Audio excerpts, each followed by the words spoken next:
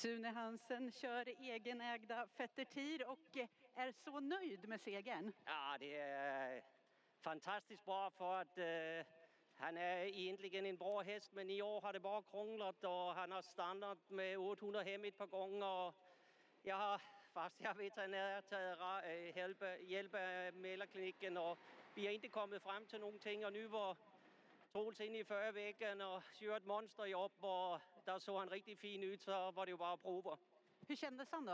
Ja, han var underbar. Det var ju, han, han var de här bättre idag i alla fall och ja, jag hade ganska mycket sparat och han vann lätt på 13 så det talar ju förhoppningsvis vi på rätt väg igen så det är så jävla kul.